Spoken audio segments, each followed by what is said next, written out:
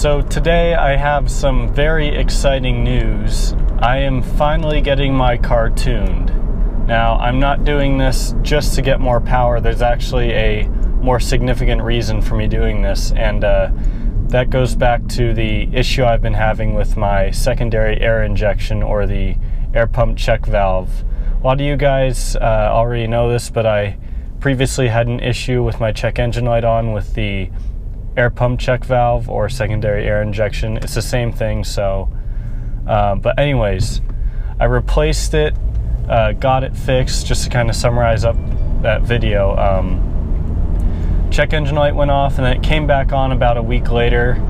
Uh, same exact thing. So it's been a couple weeks since then, and been doing some research. I actually had one subscriber comment uh, on that specific video telling me that I can get a tune that literally tunes out the secondary air injection. Um, so I connected with a guy on Facebook who actually has the same equipment that uh, I would have to spend $400 for online and ship away my ECU to get it done. Um, but he does it for free here in Phoenix. So I'm headed over there right now Unfortunately, it's in rush hour, so I've got about a 50 minute drive to go about 20 miles, but you know, it's going to be worth it. So basically, this tune, from my understanding, is just going to tune out the secondary air injection, meaning my car won't use it because the 2003 9-3, which is the model year I have, is the only model year that has the secondary air injection, and that's because uh, it was so prone to problems. So the newer 9-3s uh, don't have the secondary air injection. So basically, what the tune's going to do is just tune it out, like I've said already, and it won't be used at all. So that should get rid of my check engine light, and I won't have to deal with that stupid nagging problem anymore. But along with that, there's obviously with most tunes you got like your stage one stage two stage three. Um, and to get stage one i don't really need to upgrade anything. So he's actually going to give me the stage one tune for free. Um, very generous of him. Um, but i'm going to be getting that stage one tune which is going to add roughly 45 horsepower and 50 pound feet of torque. So i'll be crank I should be pushing 260-ish horsepower, 270 pound-feet of torque, which is a lot of power actually. So I do want to eventually upgrade to a stage 2 or stage 3 uh, tune, which will give me, stage 3 should give me an additional 30 horsepower and 30-ish pound-feet of torque on top of stage 1. But in order to do that, I've got to upgrade the intercooler, uh, totally new exhaust, um, what else, spark plugs, uh, air filter, and uh, there's one other thing uh, that it suggests that I have. Well, actually, it requires that I have. Stage two suggests that, and stage three requires all that stuff. So that's about twelve or fifteen hundred dollars in parts right there. So that's obviously something that you know I got to be committed to, and it's something that I'd really like to do because you know I'd finally get a bit of a louder exhaust, a performance-based exhaust. So stage three, that is something that I want to do in the future. Uh, it will require a lot of new parts, performance-based parts um, that I think will be worth it. You know, it'll also help my car run better than just the stock parts. But yeah, guess I'll uh, stop rambling and I'll catch up with you guys when I meet up with him and we get the tune. All right, so just finished up getting the tune. Um, I just want to apologize in advance. I'm going to be driving away from the sun, and the sun's getting close to setting. So if there's a massive glare in the frame, I apologize. Um, but anyways, just finished up with the tune. I wasn't really able to uh, film much of it. Uh, you know, it was at the guy's house, so I didn't want to film his house or anything like that. But uh, check engine lights off. Uh, thankfully, obviously, because the issue was the secondary air injection, which means that everything else on the car is running smoothly. Um, basically, he just kind of gave me a quick rundown of the tune. So I just got the stage one uh, because I don't have anything else upgraded yet to where I can get more uh, more power out of my car. But oh yeah, throttle response is just insane now. It's like tap the gas and boom, you're gone. Oh yeah. Oh yeah.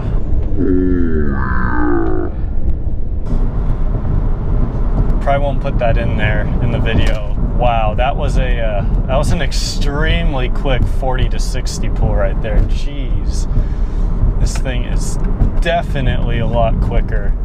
So, stage one, this should have added roughly around uh, 45, 40 or 45 horsepower, uh, about 50 pound feet of torque. So I should be pushing uh, about 255, 260 horsepower. Uh, this is crank, not wheel, and uh, about 270 pound feet of torque. So definitely a substantial upgrade from the 210 horsepower, 220 pound feet of torque that it makes stock. And uh, I'm excited to see the uh, the difference this makes in the long run. He basically just said, you know, throttle response is going to be a lot different. You're going to notice that turbo is going to be a lot louder, which is great. That's something that I definitely wanted.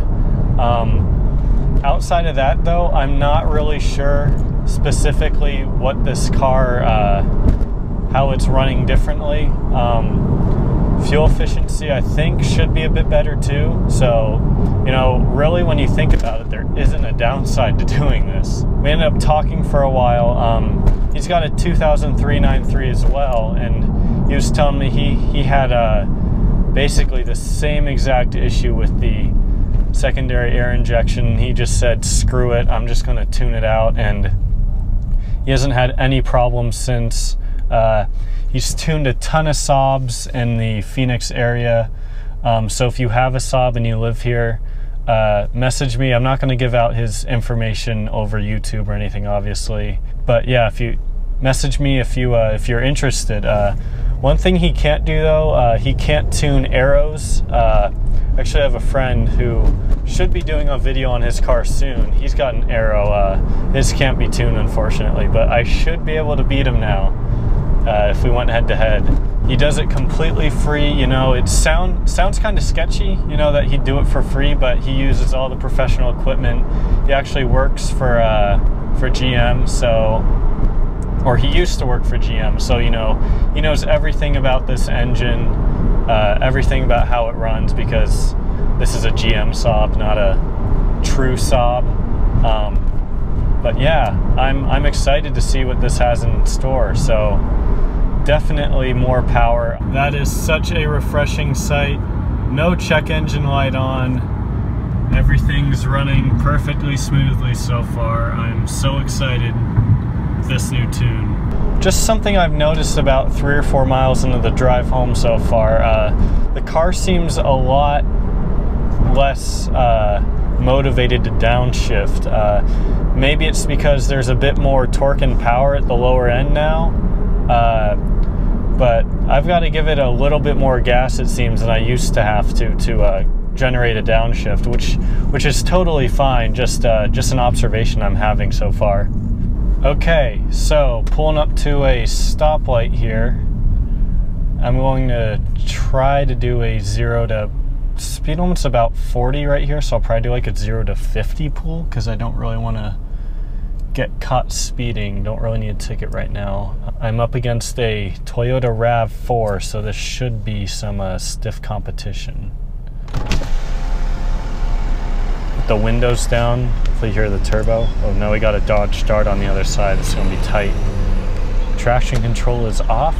Ready to hit 60 in about two and a half seconds here.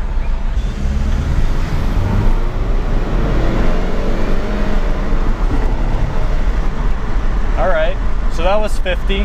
Not bad, not bad really. Uh, felt a bit quicker. Um, sometimes tunes do take a little bit to uh, fully break in, so I might still be in that period where it's still kind of breaking in. So I've put about 20 miles on the car with the tune now. I've been driving it for about 40 minutes or so. Um, and the cars run perfectly fine, ran better than before did uh, without the tune, obviously. Uh, no check engine lights still, so that means that I don't want to jinx it, but 99.9% chance uh, there's currently no issues with the car, which is a huge relief to me because the past three or four months, this car has been nothing but a pain in the ass. Yeah, everything has been working perfectly. Uh, transmission shifting smoothly. Uh, obviously, the tune didn't change anything really with the gearing or transmission wise. Uh, still shifts really smoothly.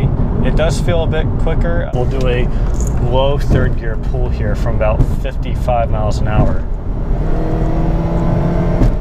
Oh shit, yeah, okay.